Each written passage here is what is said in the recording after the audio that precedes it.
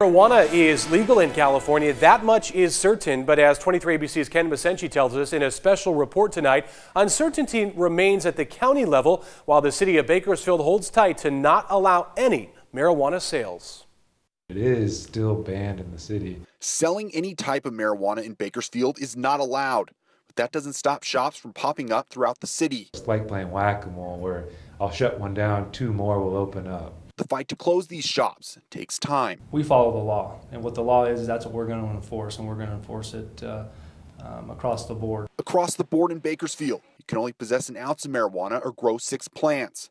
But at the county level, what to do with marijuana is still in question. As a business owner, you don't want uncertainty. Remember that word, uncertainty has become the buzzword for marijuana in Kern County. You want to know what's going to happen down five years down the road because in your head you've already had it planned out. Plans are on hold and nerves are high for medical marijuana shop owners like Will Dennis. It hasn't really affected us right now, but I worry about in the future. The it Dennis is referring to is Prop 64.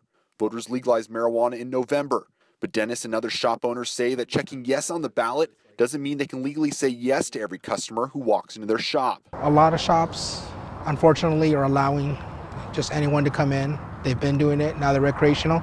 They're doing it even more. This shop owner wanted to remain anonymous because he runs his shop separate from his full time employment. Showing the stigma of being involved with pot didn't wash away with a yes on the ballot either. Don't be so quick to judge.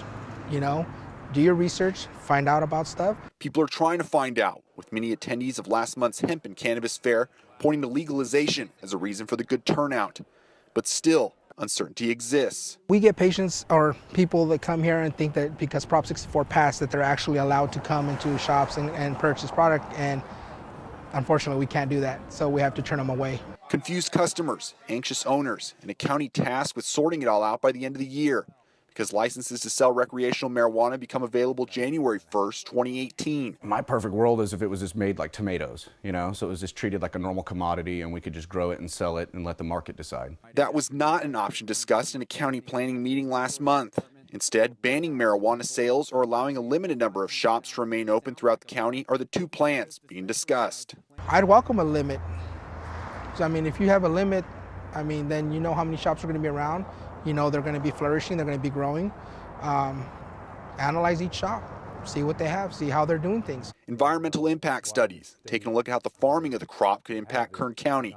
Potential revenue studies available in May should help the county supervisors come to a decision. This is a new industry. Those licenses are going to go quickly. If we don't make a decision now, we don't think that if we wait a few years to see how it turns out, that there actually will be an opportunity for us to recoup some of the fiscal revenue.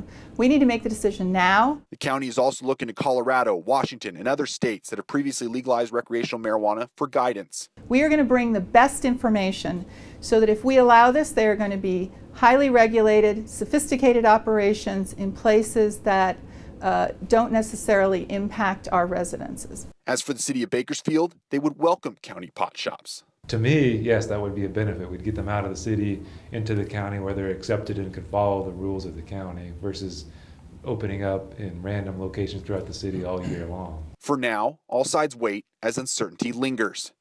In Bakersfield, Ken Masenchi, 23, ABC. And the future of marijuana even more uncertain at the federal level with the new presidential administration considering harsher regulations on states that allow recreational marijuana just like our states.